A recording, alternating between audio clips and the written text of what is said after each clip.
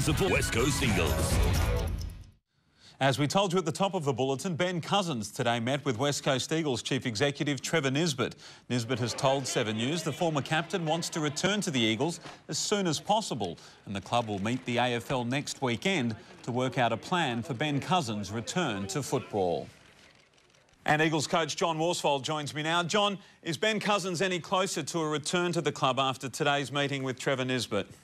Well, I haven't met with Trevor today, Baz, so I don't really know how that meeting went. But um, there's obviously a lot that's got to happen over the next uh, number of weeks. And uh, today was just a good start for Ben to touch base with uh, Trevor. And over the next day or so, um, I'm sure we'll be filled in about um, what happened with that meeting. Sure. John, what sort of things need to happen for Ben Cousins to return to the club?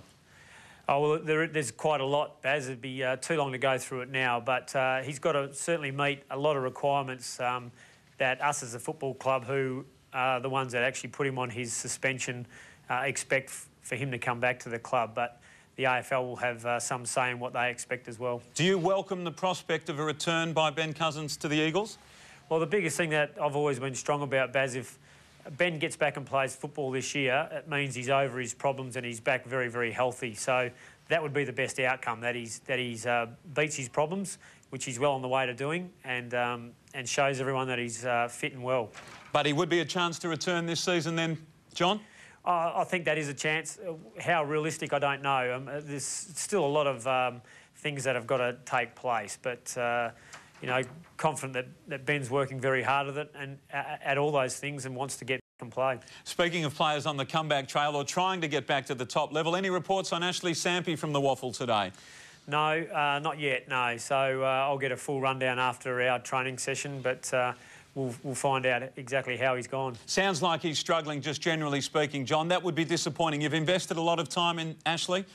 Yeah, but uh, you know he's got everything ahead of him. He can still get back and play uh, some really good football this year. So uh, he says he wants to do it, and he's not that far away. So, uh, you know, disregarding some of the reports, he's certainly not six kilos overweight. It's, uh, it's a, he could get back to being match fit for AFL level within uh, a week or so. So it's.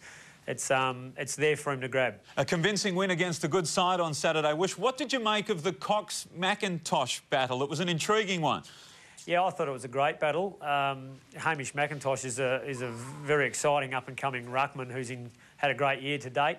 But, uh, you know, we were very pleased with Coxie's output on the game.